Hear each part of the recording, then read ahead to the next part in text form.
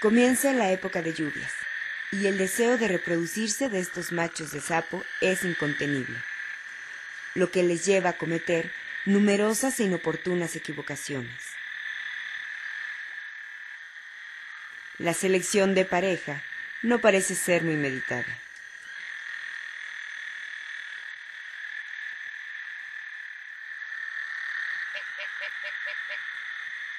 Los anfibios generalmente ovopositan en el agua, aunque las ranitas arborícolas pueden hacer sus puestas en el envés de las hojas que penden sobre el humedal.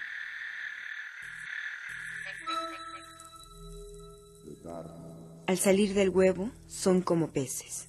Se desplazan mediante su cola y respiran por branquias. Los renacuajos se alimentan de cualquier tipo de materia orgánica, incluidos los cadáveres de sus propios congéneres.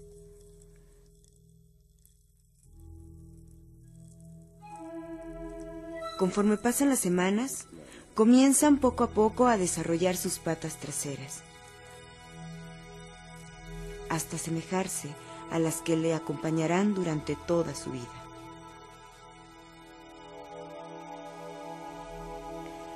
Su boca va cambiando de posición.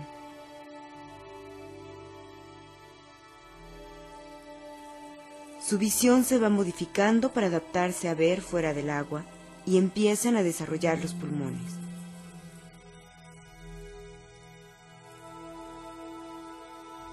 Si bien las patas de atrás crecen progresivamente, las patas de adelante se desarrollan totalmente pegadas al cuerpo, hasta que se despegan, dándole ya la apariencia de una rana. En estas imágenes vemos dos estadios de la metamorfosis. La cola se va reabsorbiendo, siendo las reservas energéticas que consume el animal mientras finaliza la transformación. Los anfibios fueron los primeros animales vertebrados en adaptarse a una vida semiterrestre. Se estima que surgieron de los peces hace unos 360 millones de años, y es a partir de ellos que se desarrollaron los reptiles que a la vez dieron lugar a los mamíferos y las aves.